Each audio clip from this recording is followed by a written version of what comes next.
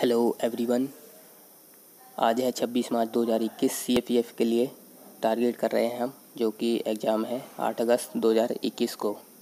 ये क्वेश्चन सभी जो भी लगाएगा उसको एक एज मिलेगा बाकी अदर कॉम्पिटिटर से। ठीक है, शुरू करते हैं। Question number one in Sangam age book Bharatam किसने लिखी? भारतम बुक लिखी है पेरू देवनार ने। Option A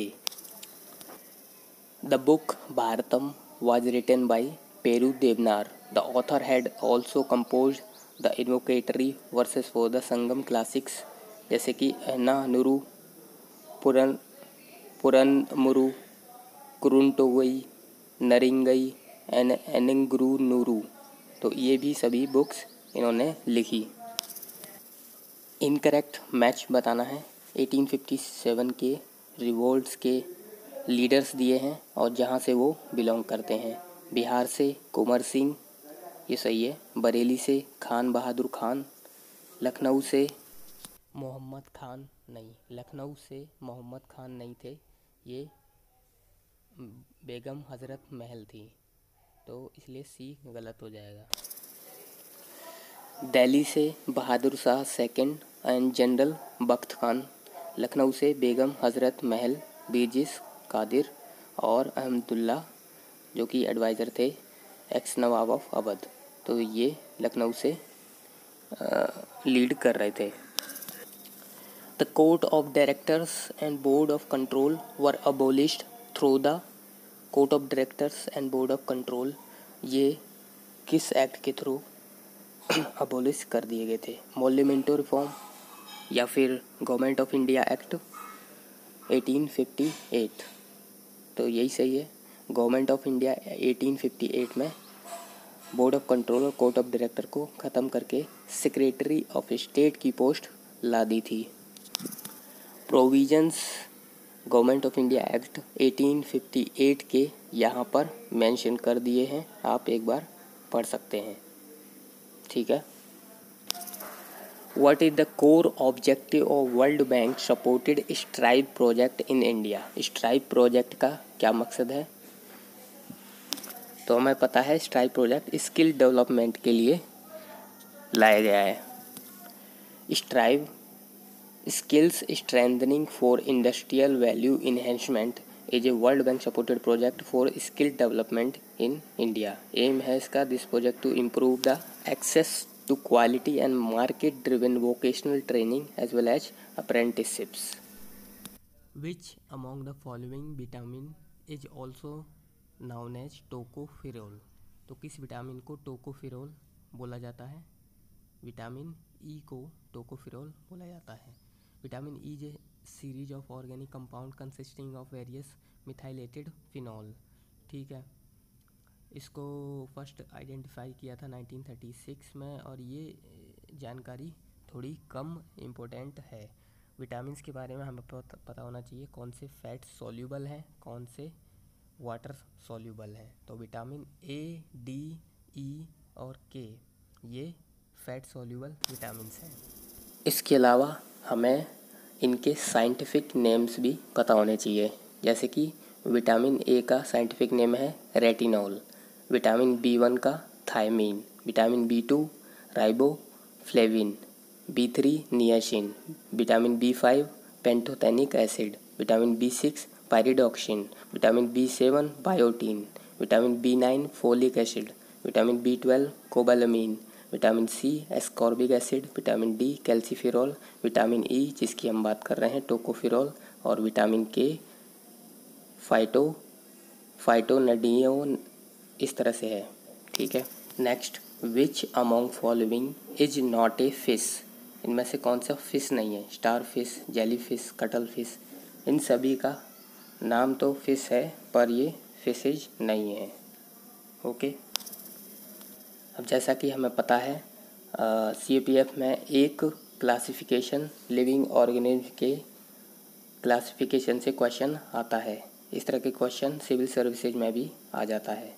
तो हमें ये पढ़ने चाहिए। Many types of aquatic animals commonly refer to as fish are not fish वो फ़िश नहीं होते हैं, जैसे कि sail fish cuttle fish star fish cray fish jelly fish ठीक है? कटल फ़िश एक मोलस्क है, जो कि ऑर्डर सेपिडा में पड़ता है, और स्टार फ़िश स्टार से एक्नोडर्म्स है, जो कि क्लास एस्ट्रोडिया में है, ठीक है? बीसीजी वैक्सीन ये किसने इन्वेंट किया था? Francis Crick Albert Calmette Edward Jenner या E O Wilson BCG vaccine हमें पता है, ये ट्यूबरक्लोसिस के लिए होता है। ये इन्वेंट किया था एल्बर्ट कैलमेटे और कैमिले ग्यूरिन ने। बेसिलस कैलमेटे ग्यूरिन या B C G vaccine is a vaccine primarily use for against tuberculosis. It is partially named after its inventor Albert Calmette and Camille Guerin. Okay. What is the name of mission carried out by Indian Navy to provide assistance to the cyclone affected population of Madagascar? ठीक है cyclone ने affect किया था Madagascar में तो Indian navy ने उस time पे कौन सा मिशन चलाया तो ये चलाया था ऑपरेशन वनीला, ठीक है? ऑपरेशन राहत, ये यमन क्राइसिस 2015 में हुआ था, तब चलाया था। और ऑपरेशन सहयोग, ऑपरेशन मदद और सहयोग केरला फ्लड्स जब आए थे तो ये ऑपरेशन चलाए थे, okay? Madagascar was recently hit by the cyclone Diane which cause huge devastation across the country after its request इन्होंने रिक्वेस्ट की और इंडियन नेवी ने सिप एरावत को डाइवर्ट कर दिया, और इन्होंने चलाया ऑपरेशन वनीला इस तरह के क्वेश्चन पिछले कुछ सालों में पूछे जा रहे हैं पेपर वन और पेपर टू में। तो प्रीवियस ईयर आप ज़रूर करें सबसे पहले। Relative humidity C A P F twenty eleven का क्वेश्चन है रिलेटिव ह्यूमिडिटी इंक्रीज करती है विद इंक्रीज टेम्परेचर या डिक्रीज करती है with decrease temperature C decrease करती है विद डिक्रीज टेम्परेचर अब ऑप्शन ए और सी देखिए।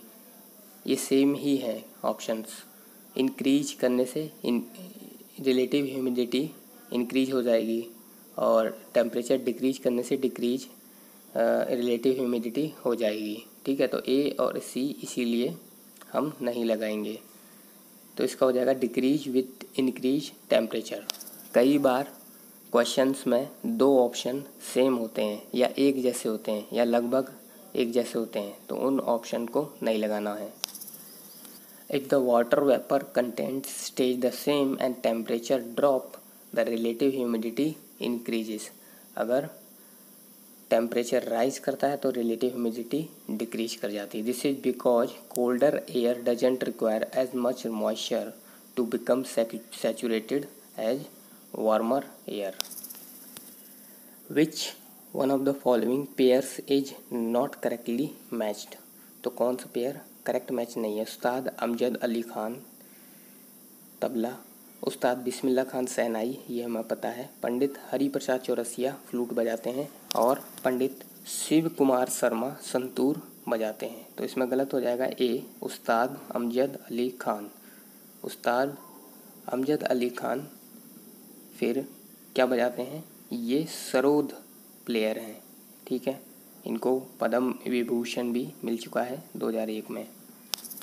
हमें सपोर्ट करने के लिए आप सब्सक्राइब कर सकते हैं। हम पेपर टू के लिए भी कुछ करने वाले हैं। That is all for today thank you